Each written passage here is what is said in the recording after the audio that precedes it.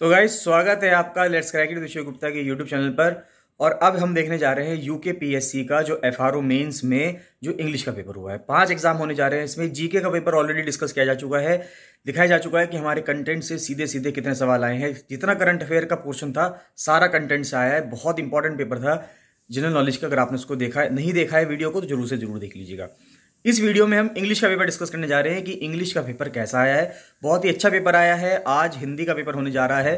तो देखते हैं कि हिंदी का पेपर जब आएगा तो हिंदी का पेपर भी डिस्कस किया जाएगा। पहले इंग्लिश का पेपर देख लेते हैं। बता जाऊँगा गाइज़ कि अगर आपने चैनल को सब्सक्राइब नहीं किया है तो चैनल को सब्सक्राइब ज़रूर कर लीजिएगा और बेलाइकन भी दबा दीजिएगा, जिससे सारी वीडियो के नोटिफिकेशन आपके पास पहुँचते रहे। फ्री टेलीग्राम चैनल भी है जहाँ पे सब पीडीएफ शेयर की जा रही हैं तो वहाँ पर आप उसको भी ज्वाइन कर सकते हैं। उसका लिंक आपको वीडियो के डिस्क्रिप्शन में मिल जाएगा। बाकी जूनियर असिस्टेंट के एग्ज़ाम के लिए, कनिष्ठ सहायक के एग्ज़ाम के लिए और आर ओ आर ओ सचिवालय के लिए फुल प्रिपरेशन बैच चल रहा है तो आप उसको ज्वाइन कर सकते हैं। उसको ज्वाइन करने के लिए seven double six five eight zero double four two one पर कॉल या मैसेज कर सकते हैं। चलिए बाकी पेपर देखते हैं। तो गाइज़ ये है पेपर जनरल इंग्लिश का पेपर हुआ है. तीन घंटे का इसमें समय है. सौ नंबर का पेपर है. सभी क्वेश्चंस वगैरह आपको करने होते हैं. सभी क्वेश्चंस कंपलसरी हैं. तो देखते हैं. अब देखिए, इसमें इंग्लिश हिंदी नहीं हो पाएगा क्योंकि इंग्लिश का पेपर है. तो पूरा का पूरा पेपर इंग्लिश में है. कुछ भी चीज़ इसमें हिंदी में नहीं लिखी हुई है. तो पहले तो ऐसे आता है लिखने के लिए. आपको 400 शब्दों में एक ऐसे लिखना है किसी भी एक टॉपिक पे. Devastating effects of nuclear war ये ऐसे इसलिए पूछा गया है क्योंकि अभी बहुत आशंकाएँ जताई जा रही थी, जो यूक्रेन रशिया का कॉन्फ्लिक्ट चल रहा है, उसमें न्यूक्लियर वॉर तो नहीं हो जाएगा। Politics and religion empowerment of women और न्यूज़ चैनल्स ऑन टेलीविज़न एक नेसेसरी एवल तो ये चार बहुत ही महत्वपूर्ण टॉपिक पूरे करंट के टॉपिक चल रहे हैं चारों। करंट्स अगर आप जुड़े हुए हैं तो आप इस एस्से में बहुत ही अच्छा स्कोर कर सकते हैं, क्योंकि जो एस्से है, वो करंट आप कितना उसमें मेंशन करके आते हैं, उस चीज़ के ऊपर डिपेंड करता है।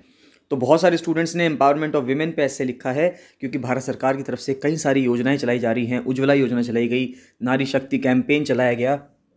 हर घर जल से या नल से जल स्कीम चलाई जा रही है, हर घर जल स्कीम चलाई जा रही है। बहुत सारी स्कीम्स, ऐसी स्कीम्स चलाई जा रही हैं भारत सरकार द्वारा, जो सीधे सीधे महिलाओं से केंद्रित है, महिलाओं के एम्पावरमेंट से केंद्रित हैं।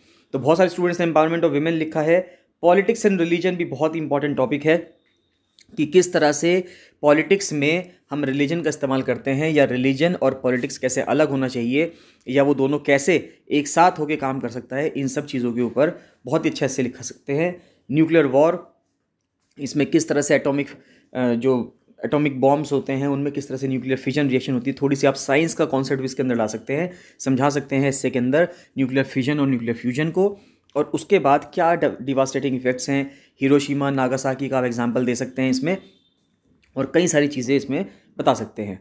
और न्यूज़ चैनल्स अगर हम देखते हैं आज के टाइम पे, जो न्यूज़ चैनल्स हैं, उनकी बहुत बुरी स्थिति है कि वो किस तरह से टेलीविज़न पे आते हैं और जो आजकल एंकर्स जो हैं, वो किस तरह से बहुत ज़्यादा भड़काऊ भाषण टाइप का देते हैं, यानी कि वो बहुत ज़्यादा एग्रेसिव वे में बात करते हैं, जो एक जर्नलिस्ट की, जो एक लॉजिक हुआ करता था कि जर्नलिस्ट को किस तरह से बात करनी है, वैसे नहीं हुआ करता था। तो एक नेसेसरी एविल है, यानी कि ज़रूरत भी है और अपने आप में एक एविल भी है तो उसके ऊपर भी ऐसे लिखा जा सकता था। कई सारे स्टूडेंट्स ने एम्पावरमेंट ऑफ़ वेमेन के ऊपर लिखा है। आप लोगों ने किस टॉपिक के ऊपर ऐसे लिखा है कमेंट सेक्शन में कमेंट करके ज़रूर बताइएगा। नेक्स्ट आता है लेटर लिखने के लिए। देखिए, ये लेटर लिखना है, एक तो लैंडलॉर्ड को लिखना है आपको कि अगर आपको फ्लैट में अपने कुछ रिपेयर करवानी है, जिस फ्लैट में आप किराए पर रह रहे हैं, या एक लेटर लिखना है to the editor of the newspaper regarding frequent road accidents in your town due to reckless driving तो रेकलेस ड्राइविंग की वजह से जो एक्सीडेंट्स हो रहे हैं टाउन में, ये सेम क्वेश्चन प्रैक्टिस भी करवाया गया था एफआरओ वाले स्टूडेंट्स को। एफआरओ वाले स्टूडेंट्स को सेम क्वेश्चन दिया गया था और ये सेम क्वेश्चन रेकलेस ड्राइविंग के ऊपर यहाँ पे आ गया है। फिर नोटिस राइटिंग प्रैक्टिस करवाई गई थी स्टूडेंट्स को। तो उसमें ये कहा गया था कि शार्प छः बजे पोलिंग डे पे आ जाना है। एक तो ये क्वेश्चन था या फिर सर्कुलर लिखना था टीचर्स के लिए। To strictly follow the corona guidelines on the opening of the college अब देखिए, इसके बाद जो थर्ड क्वेश्चन आता है, वो आता है प्रेसी राइटिंग के लिए कि आपको एक प्रेसी लिखना है, यानी कि ये जो आपको जितना भी सब कंटेंट दिया है, इसको आपको पढ़ना है और इसको पढ़ने के बाद इसकी वन थर्ड राइटिंग में, यानी कि वन थर्ड लेंथ में आपको उसको प्रेसी कर देना है, छोटा कर देना है और इसके लिए टाइटल भी देना है। ये टोटल पाँच नंबर का था। काफ़ी अच्छी प्रैक्टिस करवाई गई थी सभी स्टूडेंट्स को इसके लिए भी। फिर इसके लिए भी प्रेसी लिखना है आपको। तो दो प्रेसी आए हैं, ये थोड़ा बड़ा होगा, ये दस नंबर का है, एक छोटा प्रेसी था जो कि पाँच नंबर का था। इसको, इसकी जो पीडीएफ है, वो जो फ्री टेलीग्राम चैनल है, उसमें शेयर कर दी गई है तो वहाँ से आप इसको देख सकते हैं। नेक्स्ट क्वेश्चन पूछा गया है सिनेनिम लिखने के लिए, यानी कि आपको प्रायवाची लिखने हैं एभोर का लिखना है, बिगाइल, क्राफ्टी, एलिगेंट और साइकोफेंट। तो इन पाँच शब्दों के आपको सिनेनिम लिखने थे, और एंटोनिम लिखना था आपको इनहेल, थ्रिफ्टली, इनोसेंट, ऑप्टिमिस्ट और विजिबल के। उसके बाद सब्सटीट्यूशन ऑफ़ वन वर्ड बहुत ही अच्छा क्वेश्चन आए हैं वन वर्ड सब्सटीट्यूशन के। A government by the people of the people for the people democracy कहते हैं। Eight a person difficult to please one who knows everything murder of a king a list of books तो बहुत ही अच्छा question थे। फिर idioms of phrases का meanings पूछा गया था आपसे कि when you go to a hill station you will come across a number of animals यानी कि आपको बहुत सारे जानवर देखने को मिलते हैं। Add fuel to fire all of a sudden at home और बीटिंग अबाउट द बुश यानी कि सीधे सीधे बात ना करके घुमा फिरा कर बात करना। फिर पार्ट्स ऑफ़ स्पीच की बात की जा रही है। ये क्वेश्चन भी प्रैक्टिस करवाया गया था बहुत अच्छे से। पार्ट्स ऑफ़ स्पीच में यह आता है कि कौन सा एडवर्ब है, कौन सा वर्ब है, कौन सा एडजेक्टिव है नाउन है प्रोनाउन है। क्या वो शब्द है वो आपको बताना होता है। तो honourable sympathise courageously grace an जैसे एन तो आर्टिकल हो गया। एंड कंजक्शन हो गया। हुर्रे एक एक्सक्लेमेशन वर्ड है। फिर वेरी नेवर अपॉन तो ऐसे करके दस शब्द थे जिसको आपको लिखना था। और कुछ सेंटेंसेस ऐसे आते हैं कि उनको आपको रीराइट करके लिखना है कि क्या कहा गया है। जैसे क्वेश्चन है पोस्ट द लेटर इसको पैसिव वॉइस में कन्वर्ट करना है। He is too weak to walk इसमें से आपको टू हटाना है। टू हटा के सेंटेंस को बनाना है कि he is too weak to walk को आपको टू हटा देना है इसमें से।